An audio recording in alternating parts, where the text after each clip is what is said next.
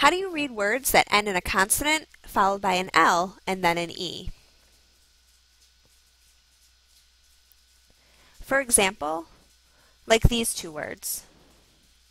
In this lesson, you will review how to read words ending with the consonant LE syllable by remembering the consonant LE syllable makes the UL sound, like in table. Let's review. Consonant LE syllables come at the end of words. The LE makes the UL sound, like in table. A common mistake when reading consonant LE words is making the E have the long E sound. So for example, reading this word as apple instead of as apple. Watch me while I try to figure out what word this is. First, I'll try to just sound it out based on the letters I see.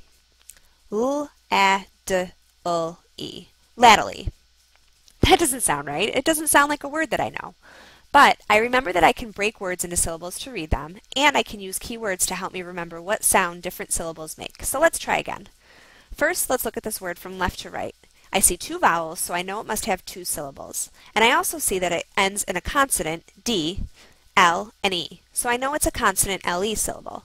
Let's break it between the A and the D. That way, I'm not breaking up the consonant LE syllable. Okay, now let's break it down syllable by syllable. Let's look at the first one. I see it's an open syllable. It has one vowel and it's the last letter, so it must make the long sound. Let's blend the sounds those letters make. L, A, lay. Okay, now I'm going to look at the second syllable. This one is a consonant LE syllable. I know that D makes the D sound, and because I remember the keyword table for consonant LE syllables, I remember that the LE makes the UL sound. If I blend those sounds together, I get D, UL, dull. Now I can blend the first syllable with the second to read the word. Lay, dull, ladle. Here are the steps I just did to read ladle. First, I looked at the word from left to right. I noticed that it had two vowels, so it must be two syllables.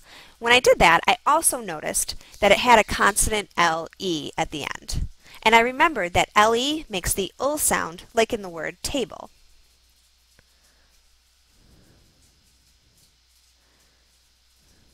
Then I blended the sounds in each syllable, and then blended the two syllables together to read the word.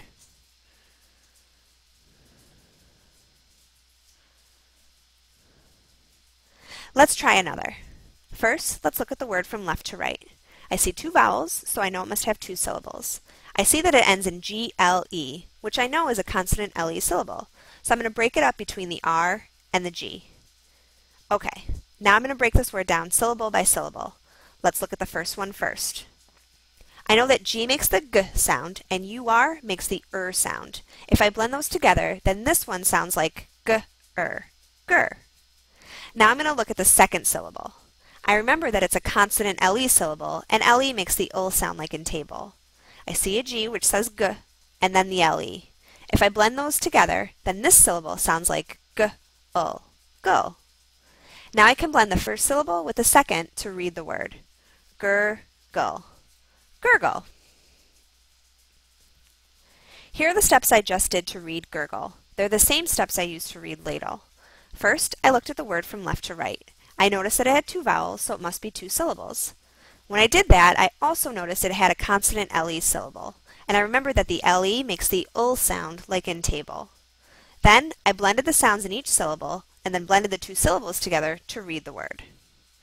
In this lesson, you have reviewed how to read words ending with the consonant LE syllable by remembering the consonant LE makes the UL sound like in table.